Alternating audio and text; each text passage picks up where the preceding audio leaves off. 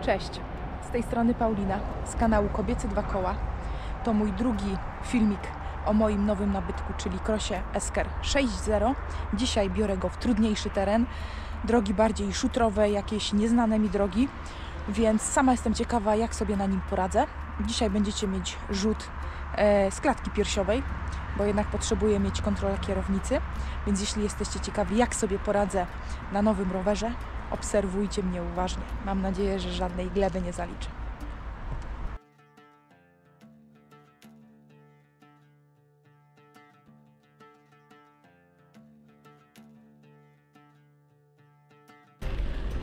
Obiecałam Wam, że będziecie mieć dzisiaj widok z klatki piersiowej.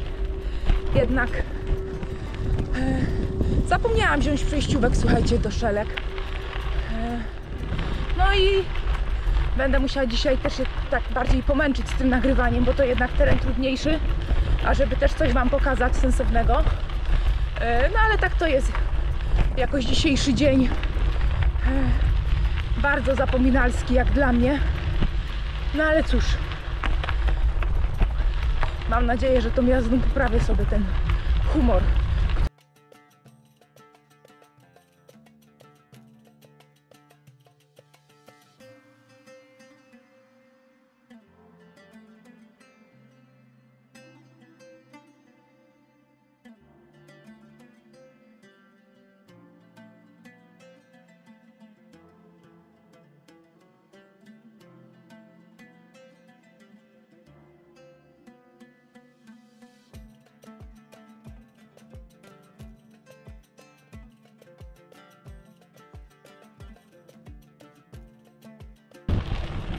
Trochę piachu z takim żwirkiem, więc leci się elegancko. A teraz zaczyna się taki fragment porośnięty trochę trawą, ale też ok, ale trochę taki bardziej sypki ten piach. A teraz trawka, o!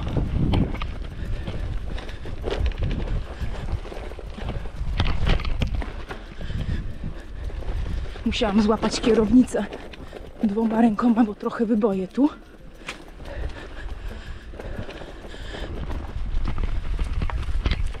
No powiem Wam, że jestem zła, że nie wzięłam, e, zapomniałam o tym mocowaniu tej przejściówce do kamerki, bo mielibyście dużo lepszy komfort oglądania i na pewno więcej ujęć w takich trudniejszych miejscach.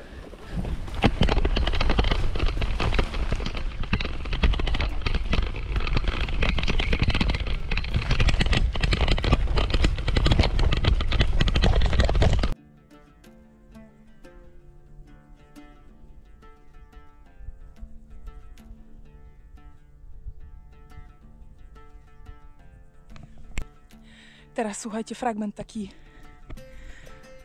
drogi, której w sumie nie ma. Na mapie jest, trochę wyjeżdżony jest, ale e, no jak widać rzadko się tu jeździ, bo to taka stara wieś, która no wykupiona została i po prostu jakiś dojazd do pól, ewentualnie tylko do tych łąk i tylko tyle. Zobaczę jak będzie dalej. Trochę czasem telepie na tych dziurach, bo tam były takie dziury, więc wiecie. E, ale generalnie ok się jedzie, naprawdę fajnie. Za mną taki, patrzcie, bardziej piaszczysty teren. Yy, musiałam zrzucić na najniższe przełożenia, bo inaczej nie dało rady, ale przebrnęłam. No żałuję, że nie mam, słuchajcie, tej, tego uchwytu, żebyście mogli sobie z klatki popatrzeć, jak sobie z tym radzę, bo na pewno byłoby dużo przyjemniej się oglądało ten film, a tak to no jest jak jest, no. Widzicie tam na wprost pod drzewem sarna. Ciekawe kiedy się spłoszy. Bo już wychwyciła mnie. O, leci.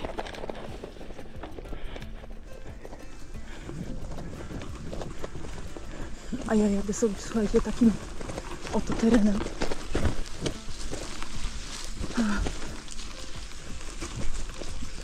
O, nawet nie wiem, gdzie tu droga prowadzi. A jest narysowana, słuchajcie, niby na mapie potrzebuję dwie ręce, więc muszę więc muszę was puścić.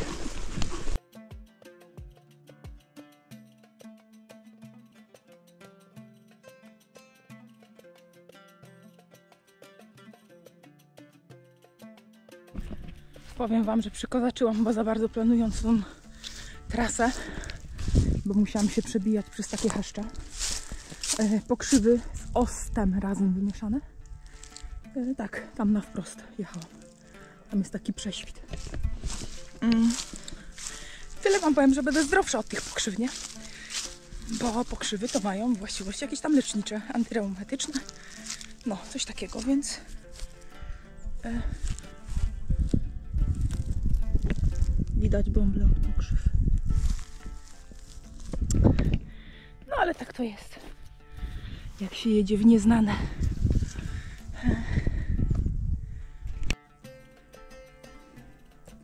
To mnie czeka, muszę się przez to przebić. Ale chyba po prostu, słuchajcie, pójdę, żeby nie, nie najechała na jakiś osad. E, więc tak się kończą moje wycieczki, no słuchajcie. Krajoznawcze, terenoznawcze. Patrzcie, jaka piękna łąka dookoła. Nic, tylko rowerem tu jeździć.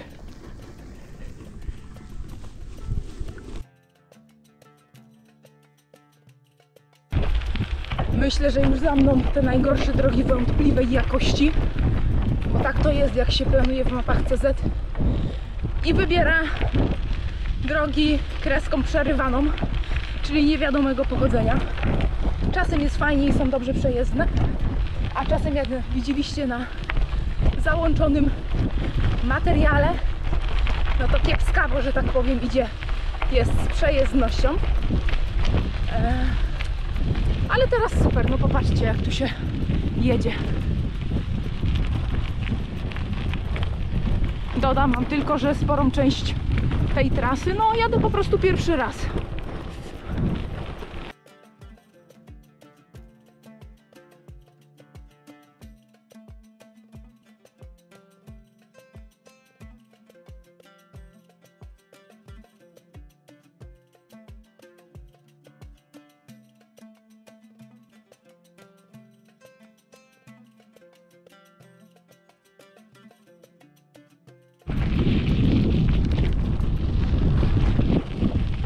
Taki widoczek, niestety teren prywatny, więc zajechać nie za bardzo.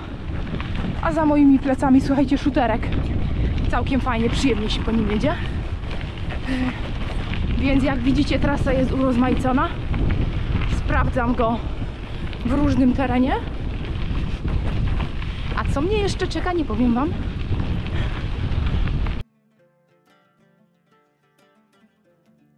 Jeśli ten materiał jest dla Ciebie pomocny, to będę wdzięczna za wsparcie mojego kanału poprzez postawienie wirtualnej kawy na Coffee'tu. Dzięki Waszej pomocy mogę dalej rozwijać kanał, tworzyć lepsze treści i dzielić się z Wami moją pasją do turystyki i rowerów. Wasze wsparcie ma wielkie znaczenie.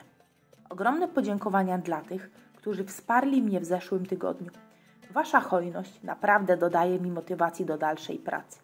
A jeśli chcesz, aby w przyszłym tygodniu również Twoje imię znalazło się na tej grafice, to postaw mi wirtualną kawkę, odwiedzając stronę Coffee Kobiece Dwa Koła.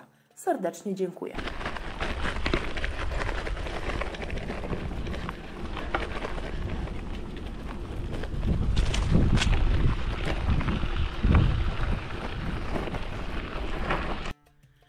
Wjechałam do Kampinowskiego Parku. Eee, taki piaszczysty teren za mną. Przede mną też trochę. Czerwony szlak w stronę Rostoki już. Eee, niestety nie nagram Wam z ruchu, no bo potrzebuję dwie ręce mieć. Ale całkiem nieźle idzie, powiem Wam. Daję radę ja, rower i uczymy się siebie nawzajem w trudnym terenie. Więc póki co pozytywnie. Wybaczcie, że dzisiaj podsumowanie na siedzącanie, ale nie z roweru, ale nie było po prostu jak Wam nagrywać. E, ostatni fragment kilkukilometrowy, kilkukilometrowy to taki dość e, piaszczysty i korzeniowy szlak. E, no więc musiałam dobrze trzymać kierownicę, ale dzięki temu sprawdziłam się w trudnym terenie i wiem, że no dajemy sobie z nim radę. E, jeszcze musimy się, że tak powiem, zgrać, ale całkiem nieźle nam to wychodzi. Podsumowując, słuchajcie, 39 km trasa dzisiaj liczyła. Nie polecam Wam jej, więc nie pobierajcie sobie JPX-a, bo po krzaczorach też jeździłam. E, I teraz z Komoda mm, mam takie informacje, że poziom trudności tej trasy był trudny. Doświadczenie maksymalne wymagane, sprawność 2 na 3. E, Dalej, co my tutaj mamy? Generalnie płasko było. Mm. I nawierzchnia nieutwardzona 24 km ponad, kostka brukowa 630 metrów, utwardzona nawierzchnia 6 km 800 metrów, asfalt y, 6 km i nieznana kilometr 140 metrów. Mm. Rodzaje dróg, single traki niecałe 4 km, ścieżka 22 km, droga rowerowa 880 metrów, ulica boczna 6 km i ulica 5 km. Odcinek wyznaczony w linii prostej 1 km. To takie informacje organizacyjne. I teraz słuchajcie, jakie są moje wrażenia. A no moje wrażenia są takie, mm, że da się w trudnym terenie tym rowerem jechać. Oczywiście trzeba mieć trochę umiejętności, tak jak ja na przykład z MTB. E, trzeba umieć współpracować z rowerem, bo jeśli będziecie trzymać tak kierownicę, no to niestety, ale nic z tego sensownego nie wyjdzie i po prostu e, będzie Wami trząsło, jak nie wiem. Trzeba dać po prostu pracować temu rowerowi, aczkolwiek trzeba z wyczuciem trzymać tą kierownicę, żeby wiadomo, jechał rower tam, gdzie chcemy. E, Trasa, tak jak wspominałam, jak widzieliście, miała różną nawierzchnię. Specjalnie taką zaplanowałam, żeby po prostu sprawdzić i siebie, i rower w tym terenie, i udało się. I wiem, że e, tak naprawdę mogę nim wszędzie jechać.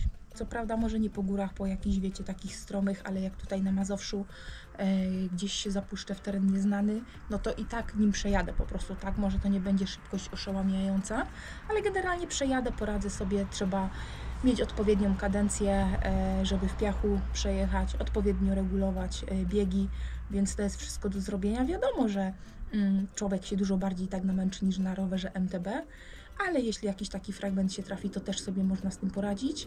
E, Dużo bardziej tutaj tylne koło chodzi niż to jest w rowerze MTB, więc tutaj też się muszę troszkę na to przyzwyczaić i przestawić. Ale generalnie naprawdę nie było źle. Nawierzchnie różne, e, trzeba dać pracować po prostu tom, temu rowerowi. Nie czuję, słuchajcie, jakichś rąk wymęczonych czy też barków. E, Może to też wynika z tego, że ja jestem dość umieśnioną osobą, e, szczególnie jak na kobietę, więc, e, że tak powiem, e, moje mięśnie pracują i gdzieś nie odczuwam aż tak bardzo tego dyskomfortu, no bo wiadomo, na tym gravelu e, no nie ma amortyzatora i to wszystko, że tak powiem, nie jest wybierane, trzeba swoim ciałem amortyzować. Chociaż podobno najlepsza amortyzacja to własne ciało, stawy i mięśnie, więc e, jak kto nie szwankuje, no to mówię, dacie sobie radę. Cieszę się, że zrobiłam tą trasę, mimo tego, że gdzieś tam się w te krzaczory zapędziłam, bo wiem, że mogę nim wszędzie teraz przejechać i jeśli coś mnie zaskoczy na trasie, to i tak sobie z tym poradzę. Więc o tyle jest fajnie. Mm. Przełożenia wszystko chodzi jak należy, tylko trzeba rozsądnie i umiejętnie je zmieniać. E, I to tyle. Pewnie kolejny filmik taki typowo z podsumowaniem nagram e, po jakiejś dłuższej już jego eksploatacji, czyli pewnie gdzieś tam już bardziej pod zimę, późną jesienią, jak już tych kilometrów też troszkę zrobię. Wtedy będę mogła coś Wam powiedzieć. Jak na razie jestem zadowolona. Wiadomo, to nie jest rower z półki najwyższej cenowej, więc e, też nie oczekujmy, że on będzie samą geometrią ramy zbierał jakieś tam wszystkie drgania i nierówności. No ale generalnie e, jest naprawdę fajnie w tej półce cenowej. E, w tej półce cenowej naprawdę osprzęt jest super, geometria też jest ok, nic mi nie doskwiera. Jeszcze muszę troszkę go tam podregulować siodełkiem, bo ja zawsze mam z tym problem. No i przyzwyczaić się po prostu do innej pozycji, bo no to jest y, inna pozycja niż w moim MTB, więc inaczej się też tutaj jedzie. Muszę po prostu ciało przyzwyczaić do e, innej mechaniki ruchu. To by było tyle. E, Będę wdzięczna za kciuk do góry. Jeśli macie jakieś pytania, mm, na które jestem w stanie Wam odpowiedzieć odnośnie roweru i mojej, moich wrażeń, to jak najbardziej pytajcie. Jeśli na przykład poszukujecie, zastanawiacie się nad kupnem tego roweru, albo też jeśli jesteście jakimiś wprawionymi grawerowcami, to też chętnie piszcie jakieś tam swoje doświadczenia i rady, które e, wpłyną na to, że jednak lepiej mi się będzie jeździło i ten komfort i przyjemność jeszcze będzie większa, mimo tego, że i tak już jest naprawdę satysfakcjonująco, mimo że to mówię, moja druga jazda tym rowerem. Mm. I to tyle. Dziękuję, że byliście teraz ze mną. Pozdrawiam ser- serdecznie Paulina z kanału Kobiece Dwa Koła. Hej!